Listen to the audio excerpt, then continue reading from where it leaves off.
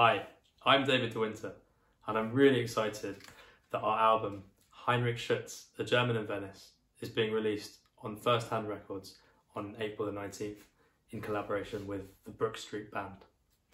Our second single is called O Quam Suavis by Francesco Cavalli, who was a Venetian composer in the early and mid 1600s. Now, this piece is a more intimate, pared down instrumentation of lute, cello, organ, and voice. And it's talking O Quam Suavis, Oh How Sweet. Um, and it's got some very intimate and beautiful moments, and it's quite quiet and quite reflective.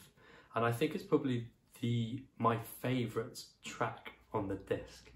Um, and it features a couple of really, really nice passages and, and, and some, well, although I say it myself, some lovely ornamentation that I've created. And for me, uh, I, it's, it's a moment of quiet reflection in this quite lively and energetic album. So I really hope you enjoy listening to it.